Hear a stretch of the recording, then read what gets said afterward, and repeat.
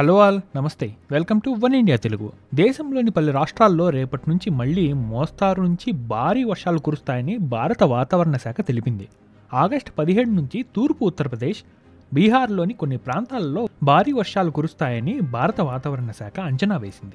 గంగా పశ్చిమ బెంగాల్లోని పశ్చిమ ప్రాంతాలపై కూడా లోతైన అల్పపీడనం తుఫాను ప్రసరణ ఉందని వాతావరణ కార్యాలయం ఇంతకుముందు పేర్కొంది. ఆగస్టు పదిహేడు నుంచి తూర్పు ఉత్తరప్రదేశ్ ప్రాంతాలు బీహార్లోని ఏకాంత ప్రదేశాల్లో భారీ వర్షాలు కురిసే అవకాశం ఉందని వాతావరణ శాఖ తెలిపింది. వారంలో చాలా రోజులలో వాయువ్య మధ్య తూర్పు భారతదేశంలోని వివిధ ప్రదేశాల్లో విస్తృతంగా వర్షాలు కురుస్తాయి. వాయువ్య మధ్య భారత భారతదేశంలో వర్షపాత కార్యకలాపాలు సాధారణం నుంచి సాధారణం కంటే ఎక్కువగా ఉండే అవకాశం ఉంది.